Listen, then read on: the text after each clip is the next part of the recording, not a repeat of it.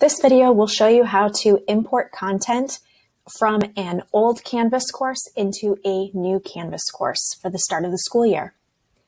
In your new Canvas course for the new school year, over on the right-hand side, when you first open the course, you should see the option to import existing content.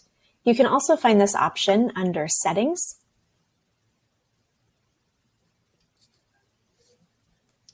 And on the right-hand side, you'll click Import Course Content. Using the drop-down menu, you will select Copy a Canvas course.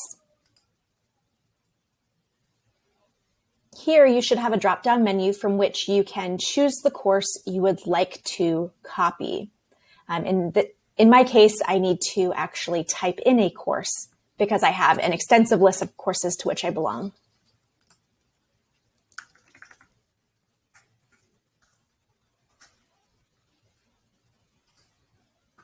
Once you have selected your course, you can select all content or select specific content. If you select all content, you can also choose to adjust events and due dates. It is recommended that you simply remove dates and then you will add in due dates, uh, lock dates, etc. in your new course. Click import and everything from the old course will be imported into this new course. The other option is to select specific content, choose import, select content, and now you can click the checkbox for any content you would like to import from the old course into the new course. If you see this arrow, go ahead and click on it to expand the menu, and you can really drill down your choices. Once you're ready, you will click Select Content.